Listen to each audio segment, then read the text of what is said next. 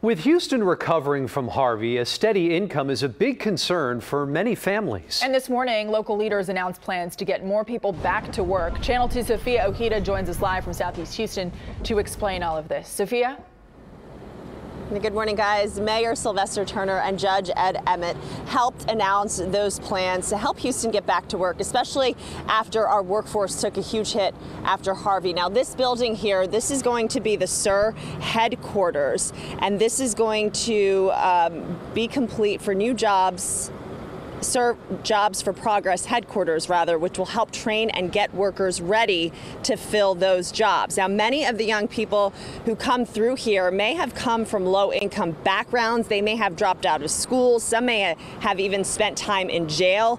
SER, which has been around for more than 50 years, gives young individuals the tools they need to get into the workforce, from GED classes to training programs. And Mayor Turner says this new $16 million state of the art facility will help funnel more people into our workforce, especially after Harvey crippled much of our area for weeks. So this is not just a building, it's a place where dreams will be realized, where hard work will be rewarded, and where everyone in this city will truly, truly benefit. And I'm just glad to be a part of it.